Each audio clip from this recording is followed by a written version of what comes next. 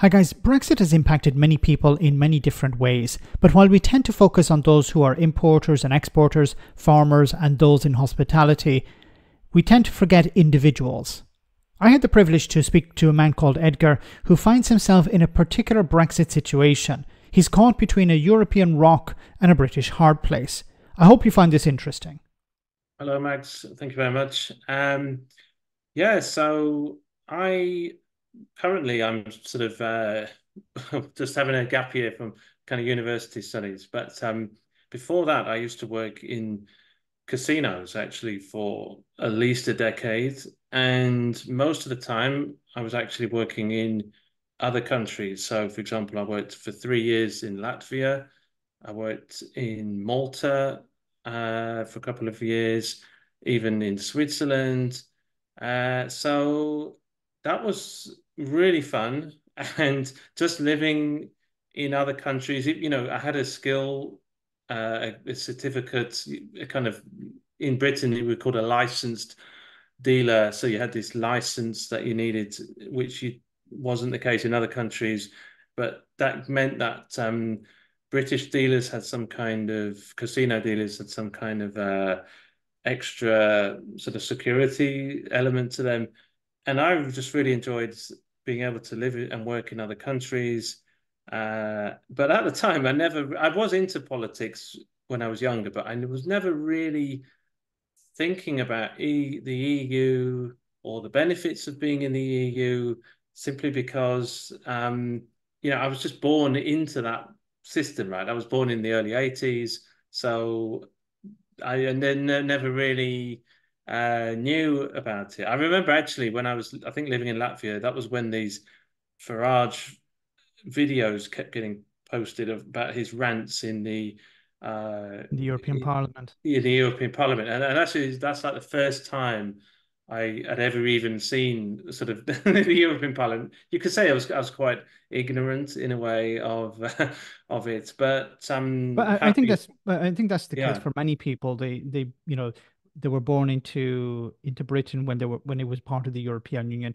Things were sort of normal. It was normal to, you know, uh, jump on a train and and go to Paris or jump on a plane and go to Italy or Poland or Germany or wherever. So it was quite normal, you know, whether it be for a holiday or be, be it for for study, for example, with Erasmus or something like that.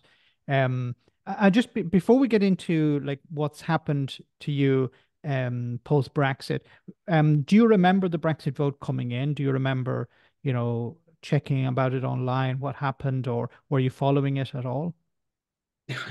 so, um, I was living in Malta at the time when sort of this the build up to Brexit was happening, and um, I actually no no so i was working with other british people international staff completely international staff uh, in a uh, for an online gaming company in Malta. Uh, Malta is very famous for, the, for having online gaming companies and live dealer studios and all of this. But there was, you know, plenty of British people. Nobody was talking about Brexit or anything like this, and I barely didn't even really know it was going on, right? And then I actually left my job there because I'd been in the same job for five years it was the same company that I worked with in Latvia. So, um, you know, I'd been in doing the same thing for about five years. I was a bit bored of it. And I actually, maybe I made a big mistake. So I came back home and suddenly, I think right after I came back, there was this whole Brexit thing going on. And I remember my father saying that, oh, this is completely ridiculous. And he actually said, one of the first things he ever said was, but what about Northern Ireland or something, right? so uh, and now you know that's people are going on about it, but um, not many people are talking about that either, right? So, and I was a bit shocked, you know. Um, I hadn't even made up a really a proper opinion yet because I hadn't really heard the pros and the cons, but obviously there wasn't um, having lived in Europe for most of the previous decade. I, I wasn't really, um, I wouldn't say it was uh, kind of pro Brexit, but but I was willing to sort of give it Like I want willing to sort of hear the, sort of what, what the benefits of it were and so on. I wasn't, you know, like on one side or the other. Let's put it that way. Uh, even though it's obvious I should should be on the, the EU side, but it wasn't like that. And once it happened, I remember I was in London with a group uh, of people uh, that I was with in London, and uh, people were absolutely devastated. I was there the next morning after the vote, so I'd only been back a few weeks, and people were absolutely devastated. I could see their faces. Uh, obviously, in this group that I was with, people were mostly, I would, you know, it seems like they were mostly pro EU, but people in London, you know, I mean, a lot of these people were, you know, maybe EU citizens uh, from EU countries or whatever, right? But a lot of them were British. And actually, suddenly I remember their faces and they were so devastated the next morning. It's like a shock. Like, well, what's actually happened? And that that suddenly then to me, I suddenly thought, oh, yeah, hold on a minute. You know, what's going to happen to me? Because I kind of like just getting jobs in Europe, right? And I, I actually went through some pretty um, kind of uh, tough time because I, I was trying to think, what am I going to do? And I didn't really want to work anymore in the the casino thing. I was trying to kind of get out of it. And so I decided to actually, I thought maybe I can do some foreign language teach, English as a foreign language, EFL teaching uh, as a sort of new way to maybe get in, go to another country. So in the end, uh, not immediately, but in the end, I did a course, you know, a CELTA course at Sheffield University, and then I went uh, and I kind of took the first job that I saw, which was in Poland, and I'm still here in Poland uh, after all that time. So I've I've just sort of went there and stayed. But actually, what happened was I, after one year of teaching in a school, like a language school, I actually decided I'm going to do some full time studies uh, because, again, something I didn't know about when I was younger. In Poland, there's no student fees; it's free for EU. so EU, yeah. university tuition is free in, in Poland for EU students or EU citizens.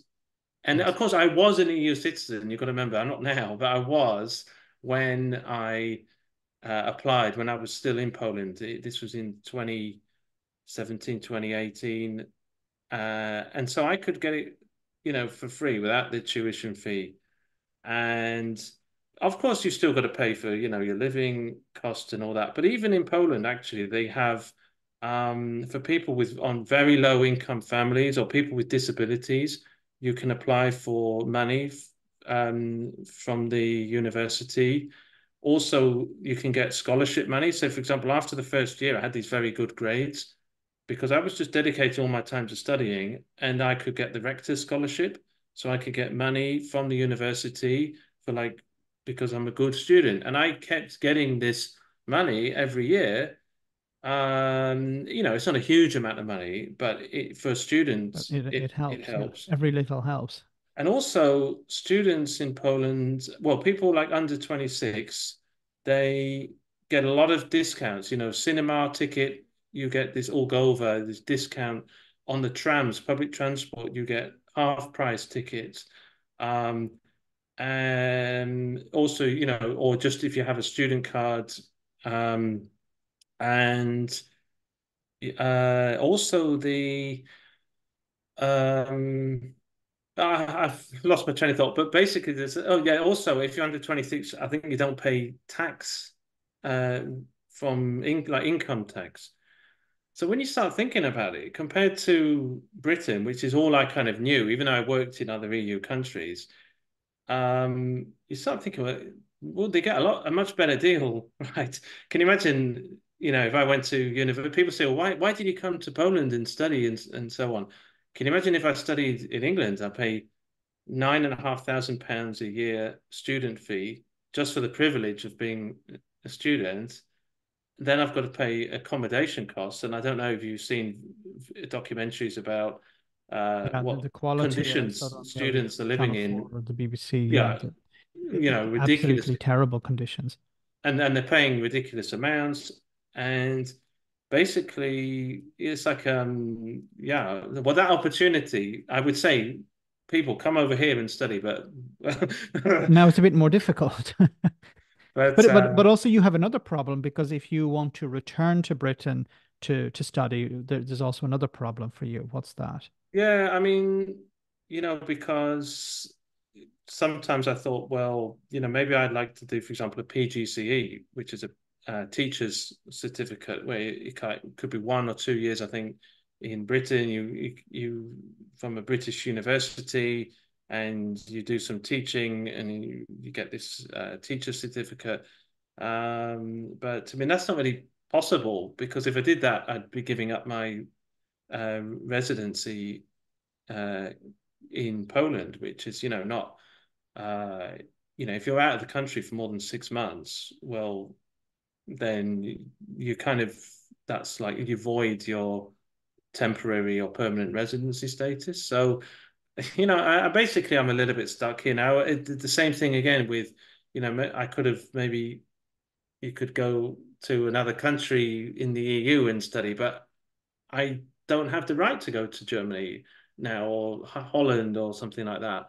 And I could study for a few months or something, but I don't have the right to just move there and do a course for more than say half a year.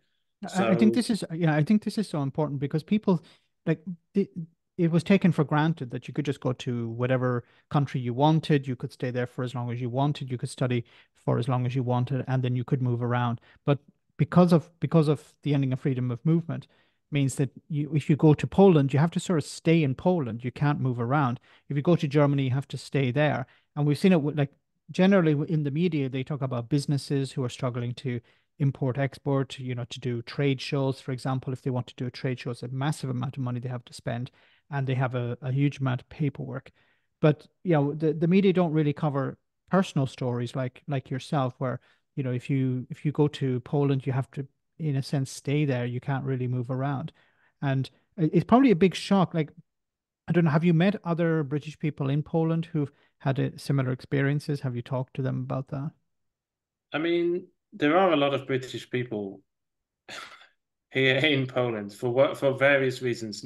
Very rarely, uh, I would say, for studying. I mean, I think I'm I'm pretty unique. Uh, in, in, you know, um, well, I mean, I have a friend who we were in the same class uh, for a couple of um, classes in Wrocław, but he he he was half Polish, half British. It, it doesn't count. But um, the I don't really know. Like, I don't go into people's sort of personal stories or whatever. But I know there's a lot of British people who have moved here with a Polish wife, maybe, or a Polish girlfriend. But I think it's usually if they're married, which gives them a quite an advantage if they are actually married to the Polish um, woman because um, you know it's much easier then to get sort of uh, kind of permanent residency and things like that. Yeah, the the, um, the, the citizen can in a sense be like a guarantor for for um the the British expat or migrant or whatever way you want to call it.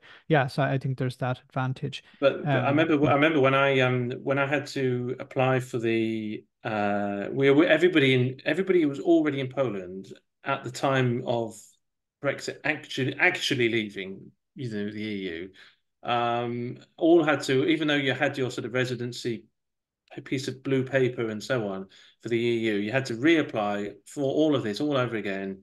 Um, and which, by the way, in Poland is really not what you want to do at all. No, like in Italy, I imagine um, you know, they don't speak, you know, they're not you'd be lucky if they speak uh, any English in these uh, offices and so on.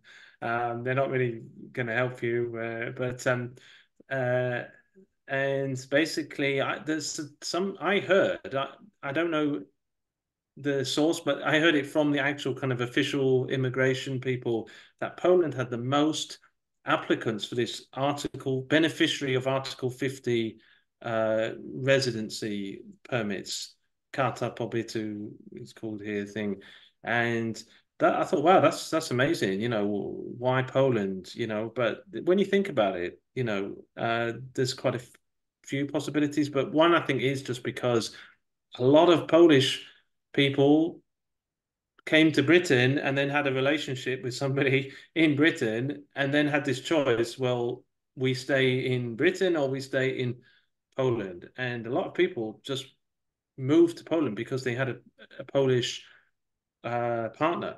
Um, but also, I think like if and we mentioned before, this was uh, how maybe the economy in, in Poland is is improving. Um, yeah. I think it was Donald Tusk said recently that um, the average Pole will will be earning more money than or will have a better quality of life than the average Brit in a number of years' time, or or maybe even at the moment. So you know the the quality of life is better. Maybe um, wages are higher or or whatever. But also the the fact that if you're in Poland, then you're still in you're in the EU and uh, you have better. I mean, you're right.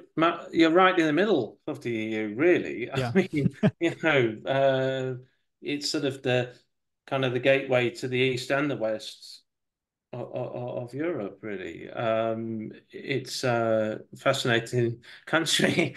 And uh, you know it's it's i mean i've been to germany quite a few times recently and you, you just go you can go in a car and just go over a bridge and uh, you know not not have any check or whatever you know to yeah, see. the, the, yeah it's an open border in a sense. Uh, can, can i ask you um have you what has been the reaction to brexit by polish people? You've you've encountered? Have they asked you about Brexit? Have they asked you about why the UK left the European Union? It's normally I, have I've a lot of Italian people I meet ask me what was going through the minds of British people. Why did they vote to leave the European Union? And we can get into a very long conversation about that. I, I don't know. Have you had similar experiences? I mean, I think I think now people don't really ask.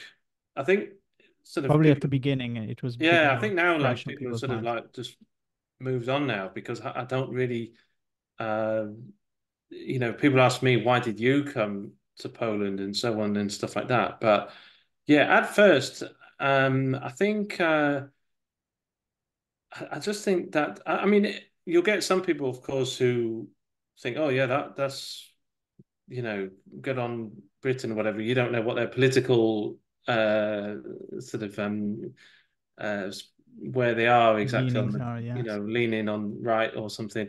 But i think um yeah a lot of people just kind of don't really even quite understand the why. And and it's just sort of almost like an eccentric part. It almost feels to them like this is the way i interpret that this is just British, ex- not exceptionalism, but British eccentricism, if that's a word. Uh, but um, just you know that they think, oh well, the typical Britain or something, you know, uh, why? Because they think, well, everything's different. You know, the the plugs driving on the other side of the road and sockets are different, or the um, sockets are different. Yeah, so, driving on the other side of the road or whatever. You know, there's there's all the uh, different measurements and, and whatever. And uh, but um yeah, I, I think some people just uh, you just get get a kind of like it doesn't really make much sense or something. But then a lot of people as well are not really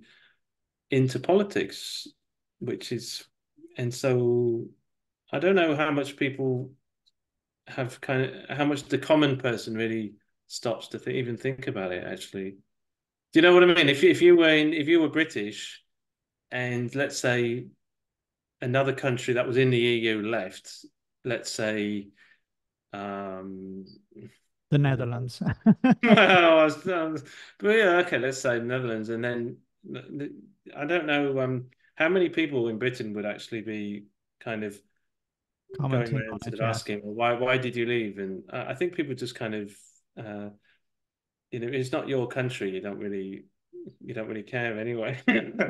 but yeah, I haven't I haven't had deep discussions about uh, about um, people like asking me like why did why did your country leave? Um, or uh, certainly not maybe at at first, but not for a long time.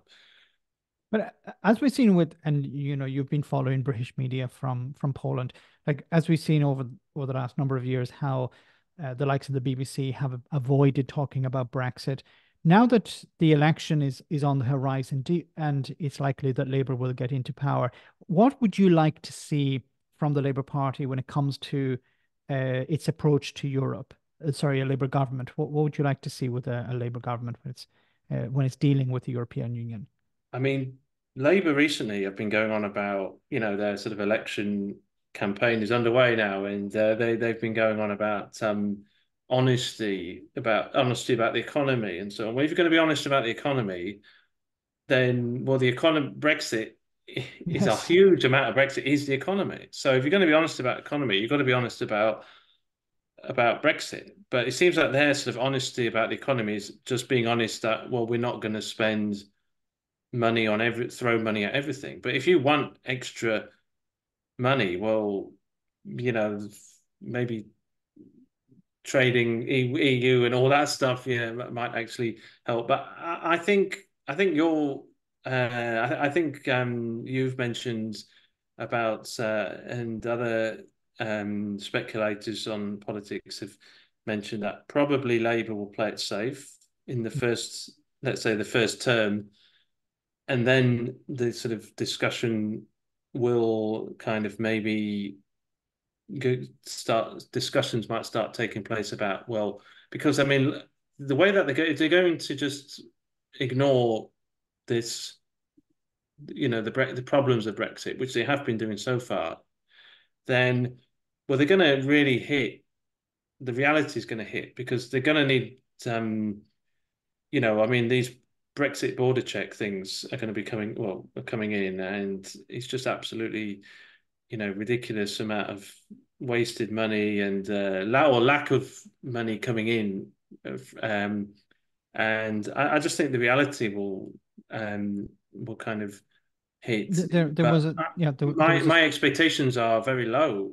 Um, I'm I am pro sort of Labour, you know, I, I don't want the Tories to to, to win, but um, you know, they're the ones who brought Brexit, and but I think um, my expectations are pretty low for for what they're going to do. Definitely in the first term, I think, um, and it's annoying because even the Lib Dems um, don't seem to have a pro EU or a leader who's willing to talk about the EU, and so there's just a lot of people who don't, you know, a lot of people in Britain who are voting don't don't actually have someone a major party speaking for them at the moment. So uh, yeah, think... it seems to be yeah when it comes to rejoining the European Union or better relationship a better relationship with the European Union. The main parties that are pushing this are maybe the um the Green Party and uh, the SNP in Scotland. But uh, yeah, you'll be hoping that Labour. So, uh, although you know, to, not to to throw attempt to throw Labour under a bus here, but they have been saying that they want to have a better relationship with the European. They want to have a SPS agreement when it comes to um, a veterinary agreement. So they want to improve things. They want to maybe have dynamic alignment. Um, so when the EU moves in a particular direction, EU standards, Britain aligns automatically with that. Um, so that that would help.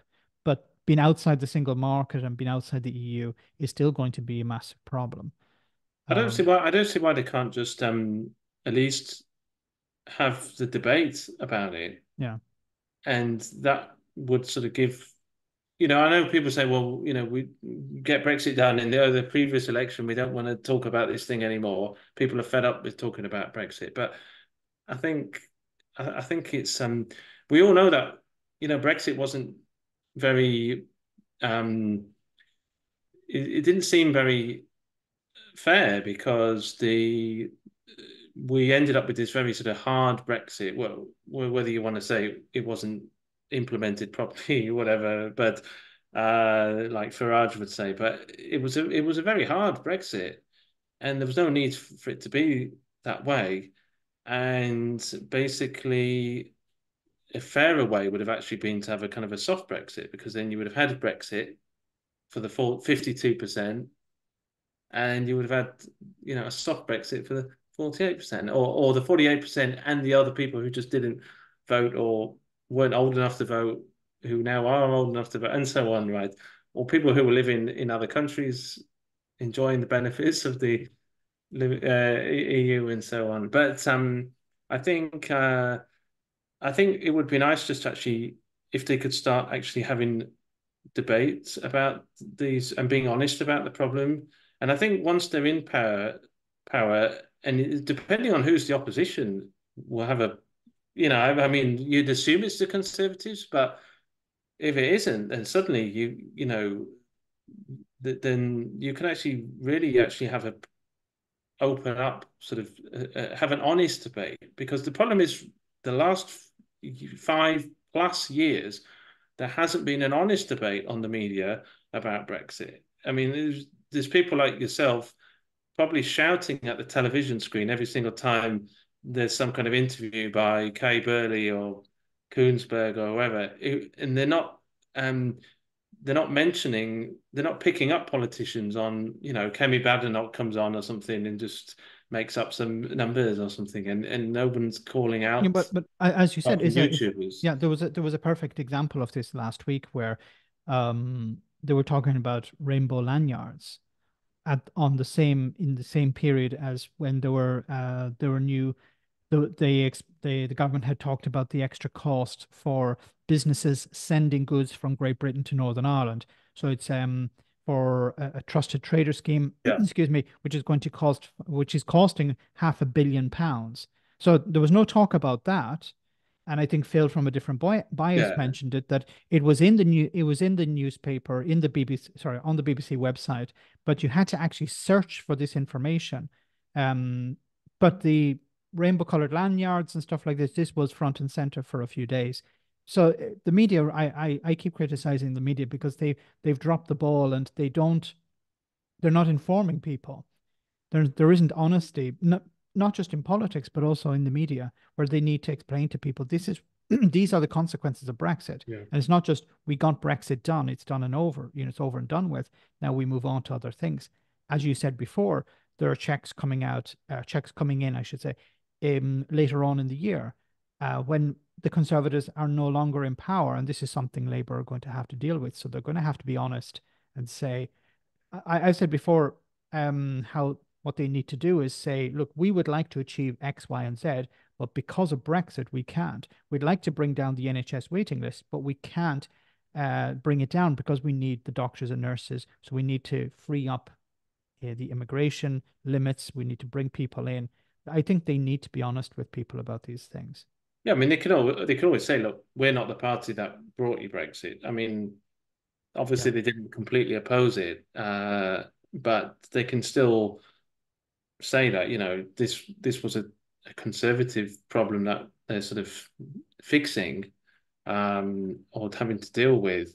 Uh, I don't know how easy that that is politically to how easy that boat is to steer, but um, uh, again, if you're talking about just having an honest conversation, if if the if there is a kind of a Tory wipeout at the next election, then you can actually maybe have fewer stories going around about rainbow coloured lanyards and sex scandals, and let's hope that there's a, a, a bit less of these things. And uh, you know I, I think i think it wouldn't be bad just maybe it's bad for your channel but it wouldn't be bad just to have a bit more boring sort of politics for a bit because when problems get so big as they are then um you know it, it's better to just sort of have actual uh, proper debates and actual action going on to deal with them rather than just some kind of electioneering politics and some crazy what's the next crazy story this week and uh... no no but I, I agree 100% like um so what what's your take on for example the theater of pmqs and the what i believe is the real work that takes place in for example the select committees? Um yeah, I mean, I, I love PMQs actually. I, I watch it um, almost uh, like a sport that I would follow. but, it's like um, a sport. But uh, yeah, um, last week was very different with the um, infected blood scandal, where there was just just plain questions and responses. There wasn't any jokes or anything.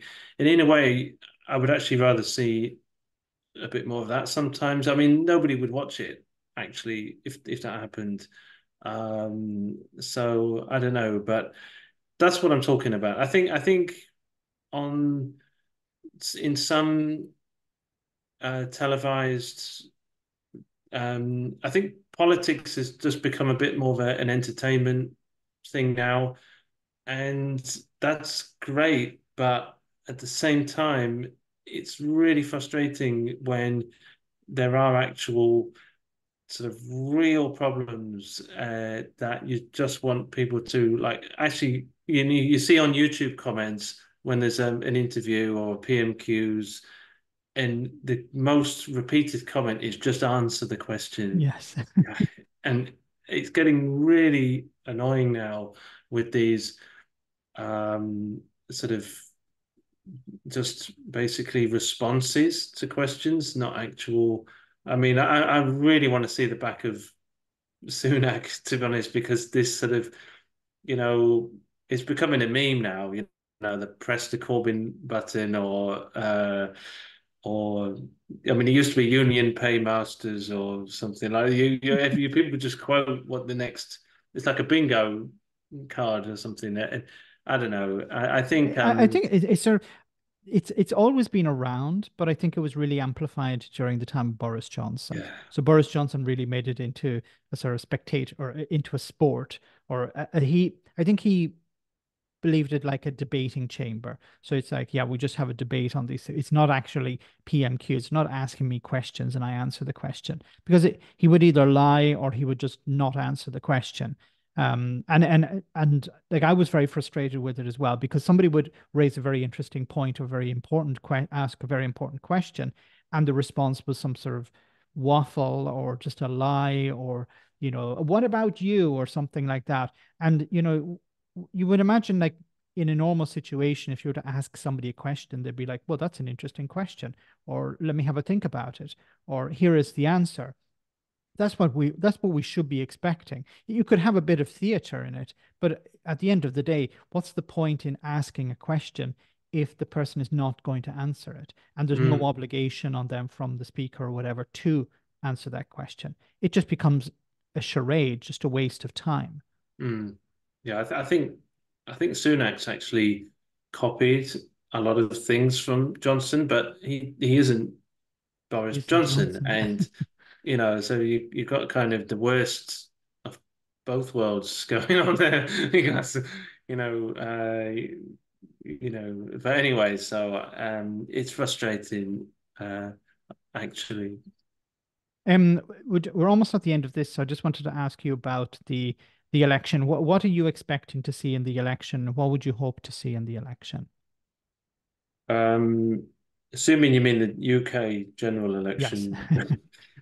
I haven't been following. I think the Polish one has been uh, is is just over. So well, I don't know. You could be talk, asking about Trump or something, but um, I think um, I think I, I think the polls have been steady for such a long time that it's highly unlikely that some kind of shock now is going to happen. Um, you know, I'm not I'm not a massive poll fan. We know what happened with Brexit. Um, so touch wood, you know, it doesn't happen again. But uh, I think um, I don't think even Sunak really thinks he he will win. Um, I think probably, you know, I think probably people will a lot of people will still vote for the Conservative Party. Um, and, you know, don't ask me why, but uh, I think it's not going to be quite as spectacular as some people are predicting. Like 1987. yeah, I mean, I, I, rem- I, I remember that. Actually, I'm old enough to remember that. But um, the I think basically Labour will just have a a good majority. Um, and I don't know, probably the Tories, you'd expect them to be the opposition, but uh, because I'm a little bit skeptical about this kind of some of the polls that have come out. Um, I'm really unsure about the Lib Dems because I think tactical voting is a thing now, right? I think this is, I think there's going to be various amounts of tactical voting, which I don't know if that will balance it out. If that means Lib Dems and Labour will kind of split the tactical votes. I don't really know how that works because I haven't looked at the the numbers on that. So that's an interesting thing to actually somebody to analyze, crunch the numbers. Um, I don't. Will Reform get any votes, any seats? Sorry, yeah, probably not. Not sure about that. Um, um, I think Labour can do probably could do better in Scotland. Um, and I don't know. I think it will just be. I'm not. I'm not predicting any big, crazy stuff. Um, but the thing is, here's my prediction that, from what I've seen, because I have been following UK politics really closely for years now, Rishi Sunak is a terrible um, campaigner. From what I've seen, from what little he seems to want to avoid uh, you know, keep him out like Theresa May, keep keep her out of the way, like don't don't you know, whatever. And you know, Theresa May, I think she had a big majority like in the polls, and then it sort of dropped like you know, like halved or something by the time uh, Corbyn actually had a quite a good uh, election that time uh, before the Boris Johnson one. And I think Sunak is probably going to make a big. Well, he's already made a big error on the first day because he had not one but two uh, Tory councillors they found now in this um, biscuit factory in high vis jackets. Yes. because you did a video where was, you said there was one. Apparently there were two, there were right? Two, so, yes. I, I think I think the guys. Have, he, like... he was also he was also in Wales, um, meeting uh, people in Wales, and he said, uh, "Are you are you looking forward to the Euro twenty the Euro uh, the Euro final? Oh, sorry, the Euros?" Football. And they're like, "We haven't qualified. Wales didn't qualify." like, ah, okay.